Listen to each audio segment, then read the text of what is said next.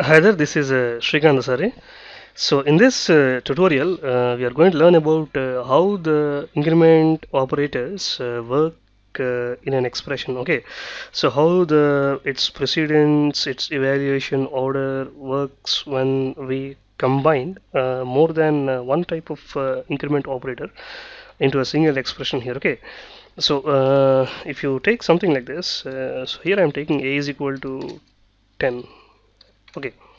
So I'm taking another uh, variable uh, b and I'm saying here something like this. Uh, I'm taking a combination of uh, pre-increment and post-increment uh, operators uh, in a whole lot of thing here. Okay. So after building an expression with all those operators let, let me see let me print the result here. Okay. So if I print the result you get the idea. So if I execute this small and tiny program so you get the result as 48 here okay? So first let me uh, change the background so that uh, it's it will be more uh, clarity. I'm just changing the colors here screen text to black and background let it be white okay?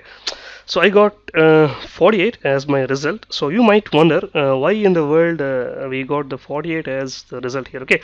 So the reason is um, so in both uh, increment and uh, in the increment whether it's increment or decrement uh, the first the post increment gets uh, more higher priority than the pre increment okay so this is the this is post increment here post increment operator and this one is pre increment okay so post increment has the high priority when compared to the pre-increment operator okay so if you if you take this uh, small expression uh, tiny expression which we built using both of them so here we have uh, uh two pre-increments and two post increments okay so first according to the uh, expression uh, according to the expression or the first the value for the value of uh, the it's going to start the evaluation from the post increment since we just now we have said that the post increment has a uh, little bit higher precedence than the pre increment so since the post increment uh, the evaluation is from uh,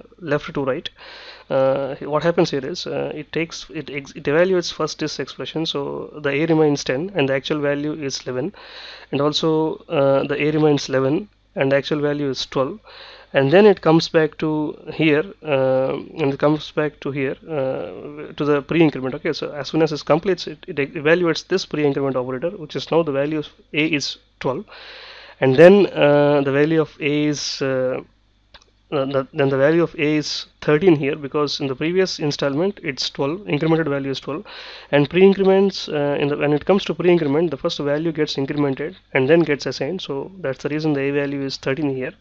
And by the time it comes to here the a value is 14 so finally the value of a is 14 and if you get uh, compute all the 14s 14 fours are 48 okay. So that's the reason uh, we are getting uh, the value as 48 here okay so that's the reason uh, the value we are getting here as uh, 48 okay? So need not get confused here. The finally uh, the value of a gets evaluated uh, finally the value of a gets evaluated to uh, 48 uh, 14 so that's the reason we are getting 48 here. Okay so see you in the next lesson. Goodbye